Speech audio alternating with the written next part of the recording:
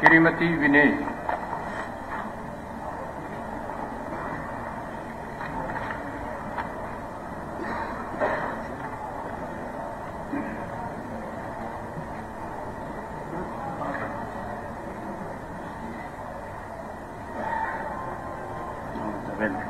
नमस्कार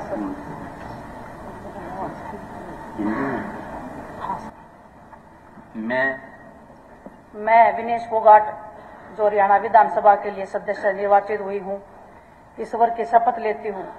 सत्यनिष्ठा से प्रतिज्ञान करती हूँ कि मैं विधि द्वारा स्थापित भारत के संविधान के प्रति श्रद्धा और निष्ठा रखूँगी, भारत की प्रभुता तथा अखंडता को बनाए रखूँगी, तथा जिस पद को मैं ग्रहण करने वाली हूँ, उसके कर्तव्यों का श्रद्धापूर्वक निर्वहन करूँगी। जय किसान, जय जवान, जय हरियाणा, खेलते खिलाड़ी, लड़ते नौजवान, जिंदाबाद बहुत बहुत बहुत धन्यवाद। खेल लो मुझे है ना अम्बाला जिला श्री निर्मल सिंह मोड़ा राजनीति में स्काई दी है गो है।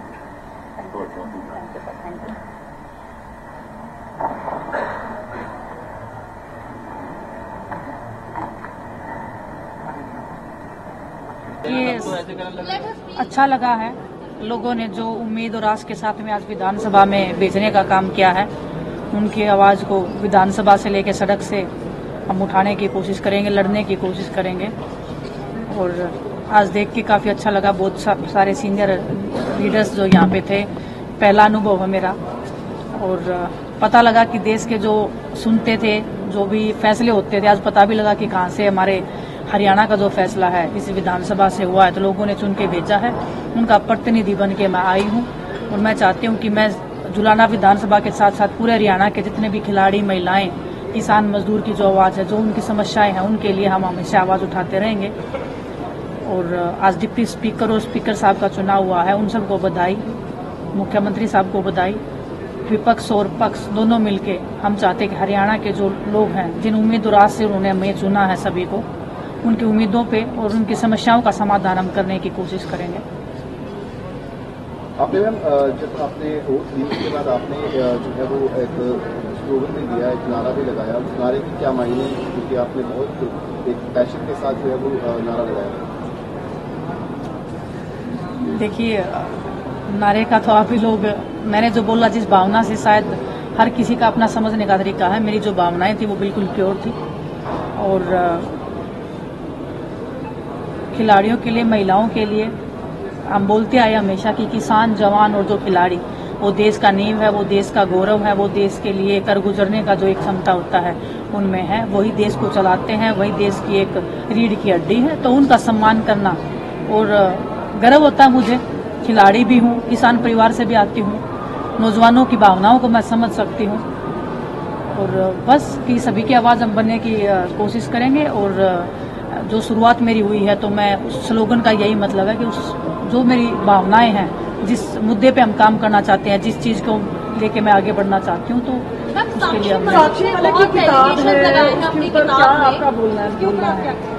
मैंने तो किताब का फ़र्स्ट पेज भी नहीं पढ़ा है अभी तक तो मैं उसके बारे में बोल तभी सकती हूँ कंफर्म तभी कर सकती हूँ कोई भी चीज़ का जब मैं पढ़ लूँगी से। महावीर फोगाट ने भी कहा है कि आपका ग्रीड था यू नो लालच था जिसकी वजह से आपने राजनीति में कदम रखा देखिए मैं ऐसी टिप्पणियों पे कोई जवाब नहीं देना चाहती हूँ बोलने को बहुत कुछ बोल सकते हो आप, लेकिन मेरी एक अपनी मर्यादा है, मेरा एक अपना लोगों ने यहाँ पे मुझे भेजा है, मैं उनकी प्रतिनिधि बन के आई हूँ और मैं उस मर्यादा में उस उस रेखा के बीच में रहना चाहता हूँ। पर मान के चले कि फोगाट परिवार में कोई छूट है इस तरह की पॉलिटिकल आपकी मर्ज़ी आप कुछ भी मान सकते हो।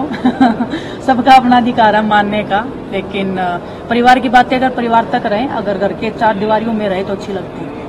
मैम बबीता प्रकाश को लेकर भी उन्होंने कहा है कि उनकी वजह से ये आंदोलन चला था क्योंकि वो संघ कुर्सी पे बैठना चाहती थी। आपको भी ऐसा लगा कि देखिए मैं इन चीज़ों पे कोई टिप्पणी करना चाहती हूँ किसको क्या करना क्या नहीं करना अगर उस चीज़ को छोड़ के अगर हम अपने पे ध्यान दें कि हमें क्या करना है तो आई थिंक जो एक एनवायरनमेंट है पूरे देश का पूरे दुनिया का वो बदल जाएगा। तो मेरा फोकस है अपने आप पे कि मैं क्या कर सकती हूँ वो मुझे अभी आने वाले सालों में देखना है। किताब लिखी उन्होंने कुछ तो कहीं ना कहीं कुछ रहा होगा अगर धुआँ निकल रहा है नहीं किताब तो लिखी तो अरे कुछ ऐसा भाई, हुआ होगा। किताब लिखी अच्छी बात है ना किताब लिखना कोई गलत बात थोड़ी है उन्होंने बिल्कुल जारी है, मरते दम तक जारी रहेगी।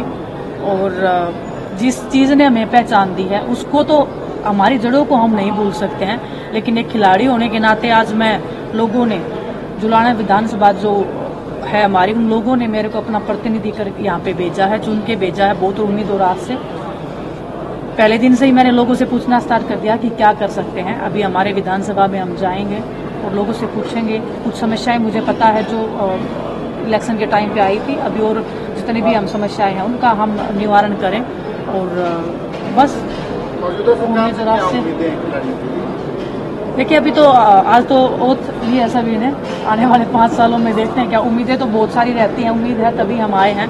और देश के संविधान ने ताकत दी है विधानसभा को लोकसभा को राज्यसभा जितने भी हमारे आला कमान की तरफ़ से सभी की राय ली गई है एक एक करके सभी विधायकों की कि विधायक दल का नेता कौन हो? आपने अपनी क्या इच्छा बताई है कौन होना चाहिए? हुड्डा साहब देखिए मैं फिर वही बात बोल रही हूँ जो परिवार की बातें हैं अगर परिवार के बीच में और चार दीवारी के अंदर रहे तो अच्छी लगती है। एलओपी को लेकर सवाल कर रहे हैं। हमें समझ गई वो परिवार ही है कांग्रेस भी परिवार है मैं एक पार्टी से जुड़ गई वो भी परिवार है तो हर चीज़ का एक बताने का और कुछ कहने का वो जो तरीका है वो पार्टी आला कमान को हमने बता दिया है। और जो वो फैसला लेंगे जो है वो एक सिर्फ़ टप्पल जैसी स्थिति बनी हुई है हर कोई अपने आप को लीडर मान रहा है? मैं फिर अनुभव कैसा रहा कांग्रेस देखिए मैं बहुत पॉजिटिव रहना चाहती हूँ हर चीज़ में। अगर मैं दूसरे लोगों को देखने लग जाऊँगी तो मैं उनकी तरह एक्ट करने लग जाऊँगी। अब मैं चाहती हूँ मैं विनेश फोगाट बन के रहूँ जो मैंने कुश्ती में जितनी साफ़ नीयत से काम किया है मैं वो कितना कर सकती हूँ उस पर मेरा ज़्यादा फोकस है। अभी बाकी पार्टी डिसाइड करती है हर चीज़ को तो वो उनका फ़र्ज़ है उनका